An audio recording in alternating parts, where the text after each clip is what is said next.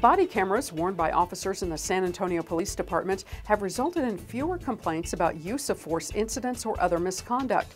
It's been two years since officers with a downtown bike patrol unit received the first cameras, and the number of time officers themselves reported using force has dropped 42 percent. The San Antonio Housing Authority is talking with the public while making plans for building mixed income apartments on vacant land across from the Hemisfair Tower and the Institute of Texan Cultures. Plans for the new development include 215 apartments.